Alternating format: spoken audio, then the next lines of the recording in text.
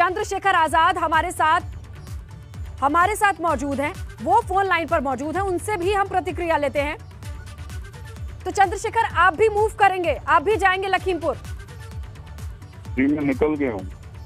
आज देश के किसानों के साथ जो अन्याय हुआ है किसानों को ज़रूरत और जो आज घर पे सो रहा है वो किसानों का हमदर्द नहीं हो सकता तो मैं नहीं सो सकता हूँ। कभी किसी को तकलीफ़ होती है तो उसके बाद मेरा सोना तो मुझे लगता है कि धोखा है। इसलिए मैं जा रहा हूँ वहाँ और हम लोग जो हैं रात को साढ़े बारह एक बजे तक पहुँच जाएँगे।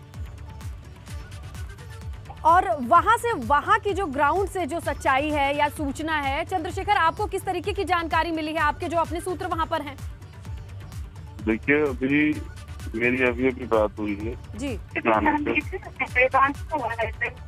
सात लोगों की लगभग सही भी दो लोग जो घायल थे उनकी भी खबर आ रही है कि उनकी डेथ हो गई तो सात लोग लगभग आज किसान जो है हमारे बीच नहीं रहे।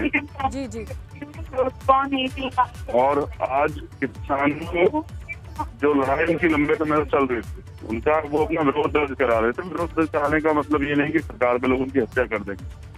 ये एक्सीडेंट नहीं है ये हत्या है सरासर और ये जानबूझ के की गई कि उनके अंदर दर्द फैले और वो घर चले जाए लेकिन पूरा देश किसानों के साथ खड़ा है हम सब लोग खड़े हैं अभी वहाँ पे मौजूदा हालात है जो लोग घायल हैं उनको लखनऊ से अब शिफ्ट किया जा रहा है जी और मैं तो यही तथागत से प्रार्थना करूँगा कि जो लोग घायल हैं उनकी जान बच जाए और जिन लोगों ने किया उनको सबसे सख्त सजा मिले वहाँ के अधिकारी कर्मचारी क्या कर रहे थे क्या पुलिस के हम्म, इंटेलिजेंस के पास पहले से इन्फॉर्मेशन नहीं थी किसान विरोध कर रहे हैं। हम्म, हम्म। और झूठे मुकदमे मिलकर तभी तो किसान विरोध में आए थे तो ये जो झूठे मुकदमे सरकारी मशीन का दुरुपयोग उत्तर प्रदेश सरकार करी ये दुखद चंद्रशेखर एबीपी गंगा भी ये सवाल पूछ रहा है छह लोगों की मौत की जो आधिकारिक पुष्टि हुई है उसका जिम्मेदार कौन?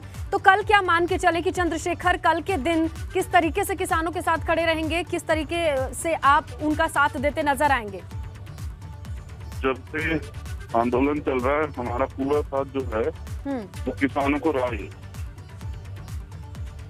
जी तो कल आप क्या शुरुआत क्या उन किसानों के पास जाएँगे उनके घर जाएँगे जिनके यहाँ से जिन्होंने अपनों को खोया है?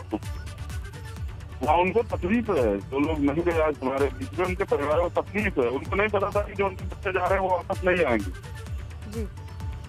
तो ये बुरा है और इसके लिए सरकार लंबे समय से वो मांग कर रहे हैं अपने, जो भी उनके विरोध में उनको खत्म कराने की। सरकार को इस पर एक्शन लेना चाहिए था। एक लंबा समय हो गया हमारे आज़ाद भारत में, जहाँ लोकतंत्र में विरोध करना हमारा राइट है। वहाँ देखिए तो क्या हाल है। दस महीने से किसान बैठे हुए हैं, नौजवान सड़कों पर चिल्ला रहा है, महिलाओं के रेप हो रहे हैं। तो उत्तर प्रदेश का जो जंगल राज है, ये उसका नमूना हमने हरियाणा में भी देखा, जहाँ जहाँ उत्तर प्रदेश की भाजपा की सरकार है, वहाँ ये सब चीज़ जारी है। बड़े पैमाने पे। आपका शुक्रिया चंद्रशेखर। भुगतना पड़ेगा।